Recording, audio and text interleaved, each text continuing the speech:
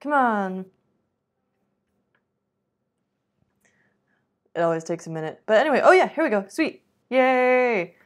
So, the Matrix voice. Uh, welcome to MCU Monday. Today we have this sweet little guest. Uh, it, as you can tell, is running this sound detection example code, uh, which is pretty sweet. This is a, a device from Matrix which is able to be loaded with all kinds of different voice assistants. So you can load Google Assistant on here, you can get it to work with Amazon Alexa, you can get it to work with Wit.ai, which is one that I've never worked with. Uh, you can get it to work with Mycroft, and presumably anything else that comes out uh, the production line of the world. You can get it running on that too. Uh, so right now, this is attached to a Raspberry Pi because I've been going through this example uh, and I'm actually, I've pulled this page up on the Pi itself, uh, but I've been going through this example by the Matrix team on Hackster that shows you how to get it set up on the built-in ESP32.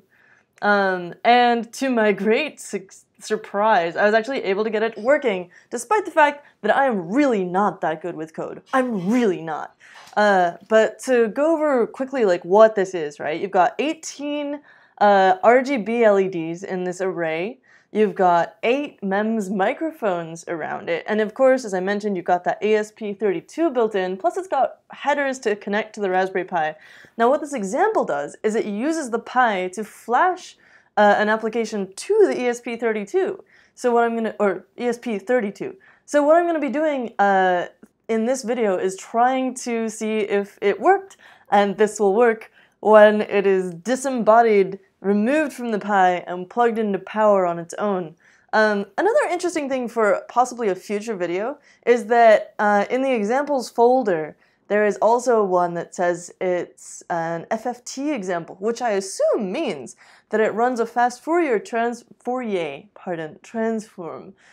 We've got to pronounce it uh, Frenchly, I guess. On the um, the sound waves, and divides it up into its frequencies uh, and then gives you a display of their concentrations, like an equalizer display, basically, separating into bounds or bands of frequencies and then showing you which ones are strongest. Uh, that's my assumption. I haven't tested that, nor have I looked it up, uh, but I'm guessing that there's an example on here right now that does that. Uh, which is very exciting. So in order to get this running, basically I had to do some setup work on the Pi itself, uh, obviously, I needed a keyboard and mouse attached to the Pi. Uh, I needed to attach this to the Pi. And then I had to download a bunch of stuff and install it on my own PC. Uh, and I'm going to be sharing my own build notes because there were some errors that I ran into. Uh, I'm enough of, like, I'm still a Padawan, but my training has progressed far enough that I was able to sort of plow through all of the errors that I ran into. Um, and so I'll share a build log of what those were and how you can get past them if you want to try setting this up on your own. Because that is a godsend for me when other people post their uh, adventures and how to solve the problems.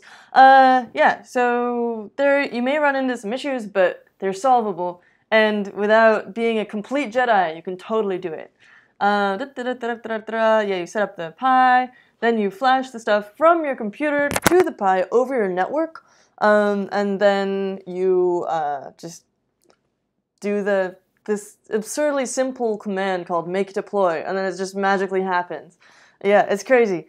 Um, so in order to actually try and make this work without the Pi, I need to turn the whole assembly off.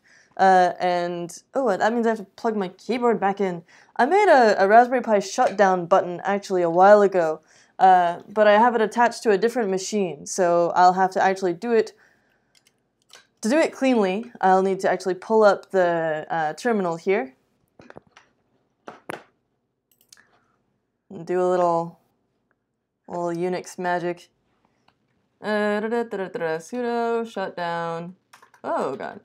Zero. And zero means now! Okay, so as soon as this is off, uh, it's still going? I guess that's because it has power? Whoa!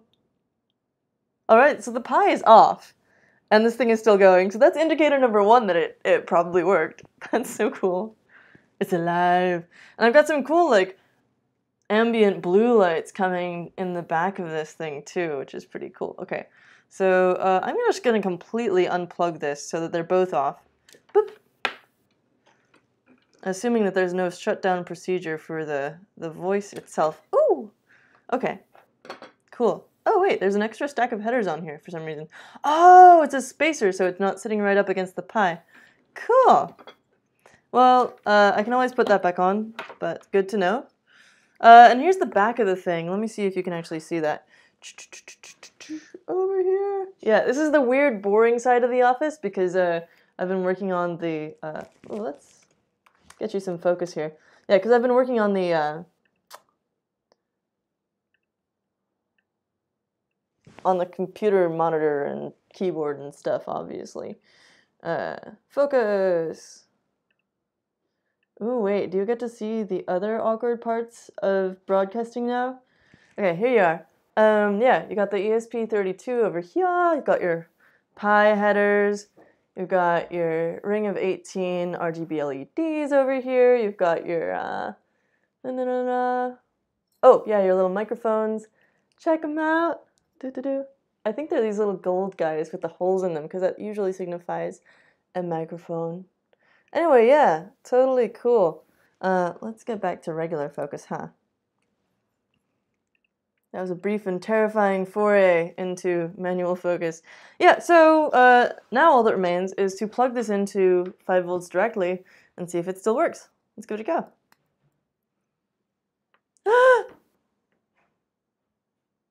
Boop! awesome. Beep boop. So sweet. Now we have a little voice thingy. If you want to do, you can be like Iron Man, and I don't know if you'll actually be able to see this. Uh, let's just pretend that I'm Iron Man. This is really awkward. Let's just pretend that never happened. That never happened. Anyway, you can, if you want, you can be Iron Man. You can do the like whole Tony DiCola thing. Um, speaking of which, Tony has been doing some really cool stuff over Adafruit with CircuitPython. He's taken the Sinobit, which is that sweet microcontroller designed by Naomi Wu and created by Elecrow. It's got a 12 by 12 LED matrix uh, designed so that it can display text in all kinds of different languages, uh, which is neat. Uh, and Tony has been working on all kinds of different uh, stuff to help get that pixel matrix up and running. Uh, so he's got the digital sand demo you might have seen where the pixels kind of flow to the bottom of the board. Uh, that's super cool. He's also got some other display stuff and also like a, an Iron Man sort of, what do you call it? Arc reactor thing going on. I already think of this thing as like my friend. I'm very quick to personify technology. But yeah, so that's the Matrix Creator voice. Wait, no, this is the Matrix voice. There is another one called the Matrix Creator, which is much larger and has more LEDs. And I want to get that one up and running too. Uh, that's for another show. Uh, another day, perhaps, also, we will try the fast Fourier transform on this guy. And in the meantime, I hope you uh, have enjoyed this. If you explore it, it was not too painful to get set up. Uh, and yeah, I hope that we'll be hearing more from these guys soon. Have a great rest of your Monday, and see us back again next week for MCU Monday. Have a great one. Ciao.